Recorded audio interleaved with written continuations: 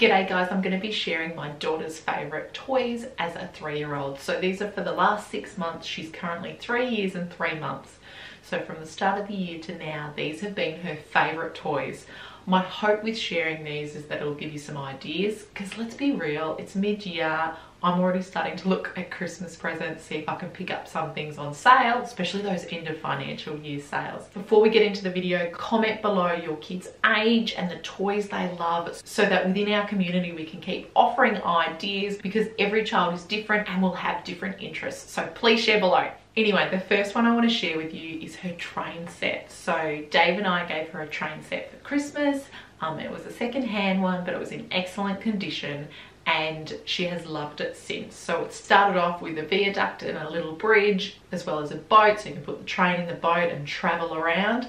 So that's what we started off with. For her third birthday we actually had a Thomas theme so we got a few of these engines and we're just picking up more as we go along. The one we've struggled to find actually is James. So we are aiming to get the collection because she does love playing with them. So what she loves about doing this is she loves role playing out the books. So Thomas gets stuck down the mine.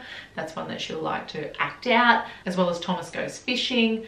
So this activity is great for role playing what she's read in books as well as being creative and imaginative. This is the activity that she chooses if we have a special 10 minutes. So when I say special 10 minutes, it's undivided attention just for her, not her brother. So we normally do it when he's having a sleep and we play how she wants to play. So it's not an occasion for me to talk about um, the colors of the engines or let's count them. It's playing how she wants to play. And this is her first choice every time with Dave and I is to play train. So as parents, what we love about this toy is it encourages independent play. So, so much social play with it in the morning, so before seven o'clock during quiet time. She'll go off during the day and play. We've actually put an ottoman in her doorway so that her brother won't come in and pull up the tracks. We've also made the decision to use it on the floor rather than a train table. So that way she can change it up and do different track configurations and we're not putting a boundary by having it on a train table. And as you can see, it can get quite large. We've also taken it out and just put it in the playroom. So one big line, I made that track. It's a fantastic STEM activity using those engineering skills. We also love that it's an open-ended play. So she's doing 90% of the work and the toy's doing 10%. Whereas if this train set had lights and sounds, then it would really dictate the way to play. Whereas with this one, it's completely open-ended and she can take it how she wants to. And I can see us playing with this for years. The tracks for this Brio set's actually really good in that you can flip them over so you can turn the pieces to go in the opposite direction and they're not super snug so there's a bit of leeway there. Like i said we didn't have this massive set at the start we've just added to it and it's been a great way for family members who have been like what should we give her? to be able to offer suggestions that we know the toy is going to get played with. The next favorite toy is soft toys. So she's got a winnie the pooh and her purple dog which is called wari and so these are her comforters at night. She sleeps with them, but also she uses them throughout the day and they are like babies. So as you can see, they're dressed in zippies that used to be her brother's. They get their nappies changed like he gets his nappy changed. So it's fantastic for role playing and I can see when she's playing, she's processing what she's dealing with in real life. She's acting out with her toys. So she's also dealing with emotions with the toys when they're upset, when they're cranky. She will talk about that and she'll give them a cuddle if they're upset. So these toys have been really helpful. We've also taken her purple dog on the plane when we flew last year and it kept her entertained. She was nurturing it, she was changing its nappy. It also has a cradle, she'll put it to sleep and she reads them books. She wakes up in the morning before seven o'clock. Recently, she's been sitting in bed and reading books to her toys. The next toy she absolutely loves is books. So before quiet time in the middle of the day, she has two books and a Bible story and it's the exactly the same at nighttime as part of the bedtime routine and she chooses what books we read. So some of her favorite books at the moment are from Nick Bland, so The Very Cranky Bear, The Super Bear. Um, she's just got the book Gruffalo and we're just reading that non-stop at the moment.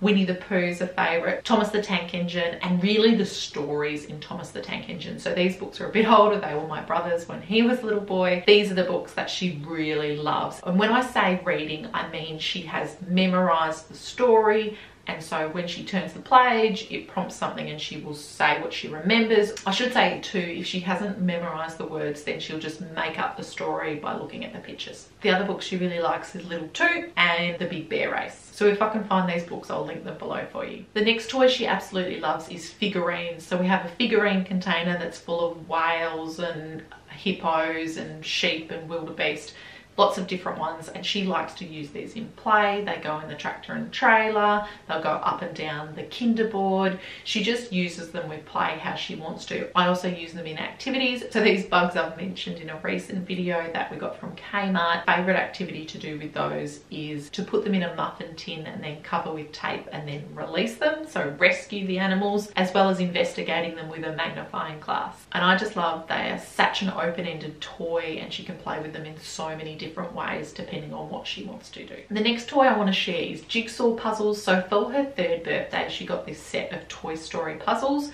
And so that really kick-started jigsaw puzzles. Before that, we'd done some jigsaw puzzles that were like three pieces and two pieces and connecting those. But this really instigated the jigsaw puzzles. There's also a car one that we borrowed from the toy library. Personally, as a parent, I actually wasn't sure how to start doing jigsaw puzzles. When I'm doing a jigsaw puzzle, I do the edges first and then work my way in. However, that didn't seem to work for her. So what we focused on was their faces. So getting their eyes and connecting them together. Um, and with the cars, just focusing on the different cars in the puzzle and then connecting together. When we're doing puzzles, I really focus on the effort that it takes to do them and praise her for that. So well done on not giving up. You just kept trying. So that's what I do to encourage when we're doing puzzles. I think one of the reasons she really loves doing puzzles is that self-satisfaction when you have achieved the puzzle the smile on her face was just so precious when she did the 35 piece puzzle for the first time. She was just so excited and wanted to do it again straight away. The next one I've grouped together and she loves using Duodot markers, watercolors, as well as gluing. For her brother's birthday, we had a Hungry Caterpillar theme, so I made up some caterpillar dot activities for her to do. And so Duodot markers um, are so much fun. There are so many free printables that you can get on the internet, and this is an activity she loves doing. If you've watched some of my previous videos, you know that I also do little activities with the Duodot markers as well. So the next two I want to share are active play activities. So the first one is a trampoline. We gave this to her for Christmas when she was just over 18 months. Um, the idea was that it was something that we could do at home when I had a new baby. I was pregnant at the time and it's been fantastic. She loves jumping on it. She loves um, getting on there with other people. We've had grandparents on there as well. It's something she likes to do every day. Now her brother's older, he's over 12 months. They like to go on it together. He'll kick around a ball and she walks or sits around. And we just have a rule in our family that at the moment she can't jump on the trampoline. When he's onto the trampoline, he's just too little. The next one is a scooter. We bought this with Christmas money and then being in isolation, we've used it heaps for our daily walk. We've taken it to wide open spaces and she's used it as well as now she's actually fantastic when we're going around town for our walk. She stops before each driveway and it's been a real skill that she's learnt during this isolation period. So getting a scooter, it's three wheels, has been brilliant. The next one I want to share too is the IKEA kitchen. So this has been awesome for role playing and my tip with this is, is just move it around. When we first bought this, we had it downstairs in our playroom and she wasn't showing too much interest in it so we brought it up to our kitchen. So it was right near our kitchen. So she played with it there. It's now back down in the playroom and I've also done a little bit of a DIY on it in that I've painted some chalkboard paint on the back of it so we can use it as a grocery shop and do some shopping that way and I do have more plans for dramatic play you know like a pizza shop an ice cream shop a restaurant she likes to ask me what I'd like from her kitchen and so I often say sausages in bread or eggplant or fish uh, and she'll make that and bring that back to me so it's really lovely seeing her role play out that cooking role, that caring role, and using it too for practical life skills. It's a great height. The next toy I want to share is another open-ended toy and it's these magnetic tiles. So I recommend these so much. We absolutely love them. It's on my Christmas list to buy a 100 piece set before Christmas. So I'm just looking out at them to see if some sales pop up. So with these, she likes to make tiny houses for the animal figurines, stations for the train sets. I also love these because it's one of those toys as adults we enjoy using as well, which I think is important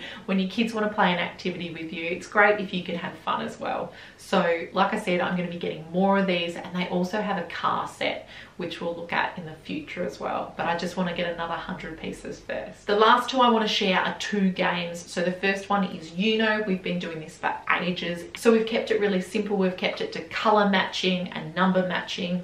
And as we've gone on, we focus more on the wild cards. So that's a fun activity. I also think games are so important for turn taking, for patience, for learning to lose. The other game that she's loved um, so much so that we've hired it from the toy library and we've actually bought one for ourselves is the shopping list. So you get a shopping trolley or a shopping basket and you have your tiles turned over in your shopping list and you turn them over and you take turns going around until you fill up your shopping trolley. Please don't forget to share with other parents your child's favorite toys so that they can get some ideas as well. If you've got a baby, the video here is sharing my son's favorite toys from 9 to 12 months. Thanks heaps for watching. Bye!